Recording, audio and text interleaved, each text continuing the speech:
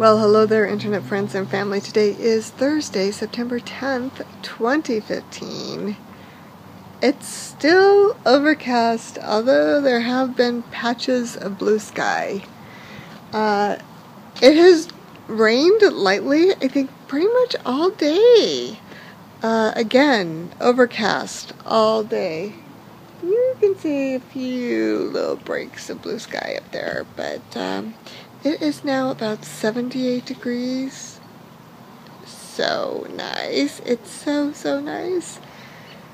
Yeah, and it's not even humid at the moment, so that's even better. yeah. So, oh, itchy nose. Yep, so, um,